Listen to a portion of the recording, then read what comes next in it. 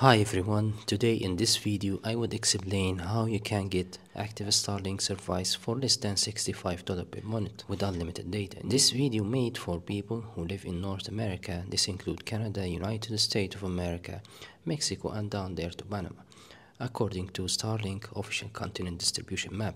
So if you live in United States for example or in any other country in North America, you can get active Starlink service with lower price less than $65 per month with unlimited data. But before we start this video, make sure that you have your time because there is a lot of important information before doing this method to your own device.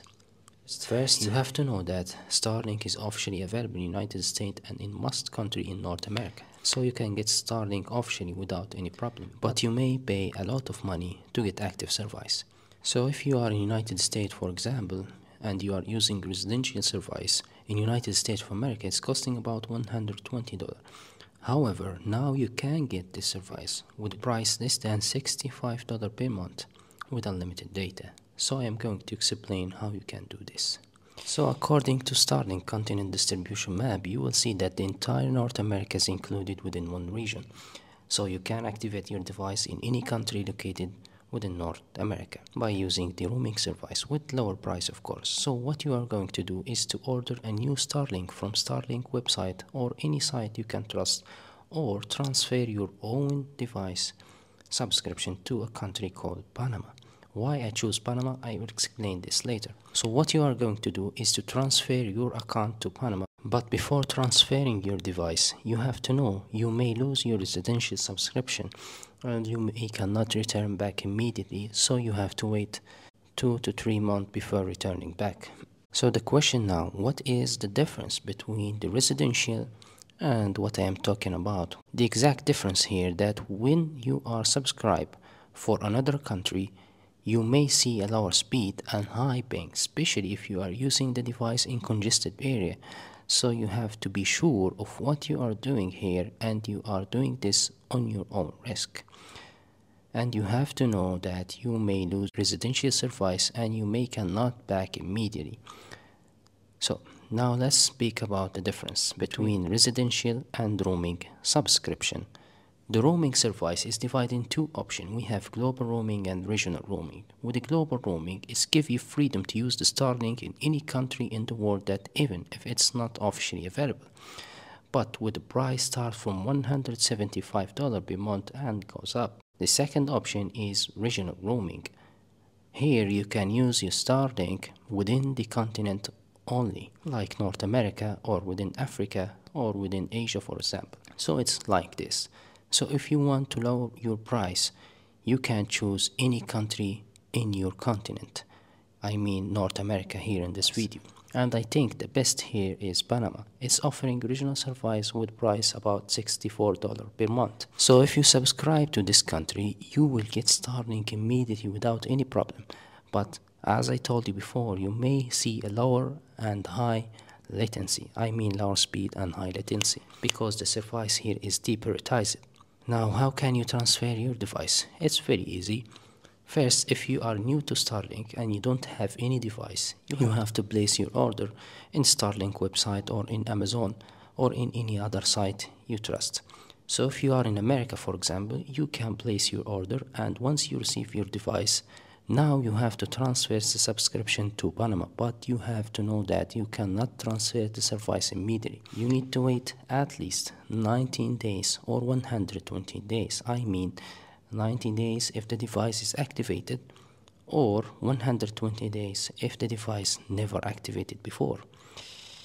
So this is maybe an issue for you at first, but no problem. You can use your Starlink as an American citizen with residential subscription, and once you reach the requirement time, you can transfer to Panama.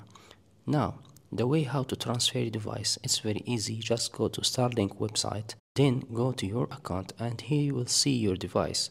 Click on Manage. You will find a transfer option down in the page. So click on transfer. Now they will ask you about the email you want to transfer if you have an email not linked before to Starlink account, use this one. If you don't have, just create a new email. And it's better to use a Gmail from Google because it's work very fine. You have to keep in your mind that you are sure to enter the correct email. Don't mistake when you are writing your email to avoid any problem. So after you transfer your device, enter to your email and you will see there is an, a new message asking you to activate your device. Simply skip this email and go to Starlink website. In Starlink website, you have to choose roaming option and here you have to enter the address. You can take any address located in Panama. Once you choose the address, next it, click into order. Now you will be directed to another page and here you will find an option ask you to enter the Starlink kit number or serial number. You may ask where I can find this kit number. You can find it in the Starlink box or uh, on the dish. So once you enter the Starlink number, you can now place your order after entering the other requirement in the page including the card you are using.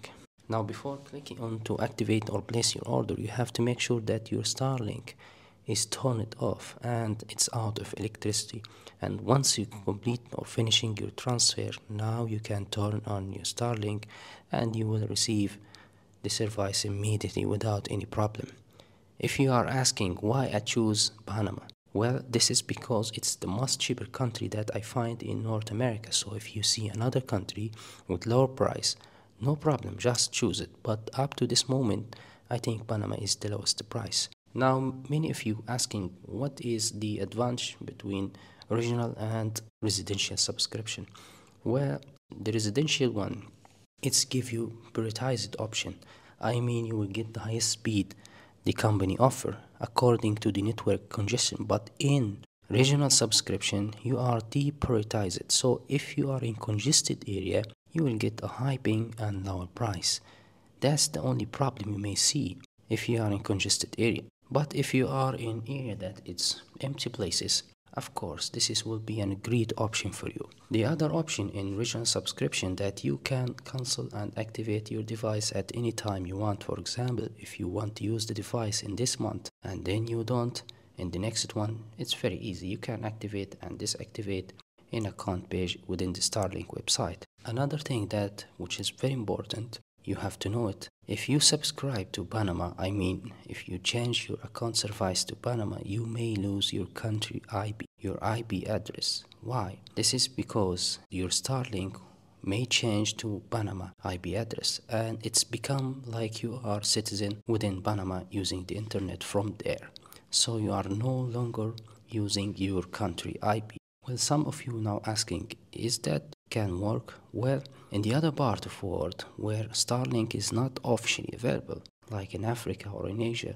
A lot of people are using this method to activate their service and it's working for more than one year right now without any problem.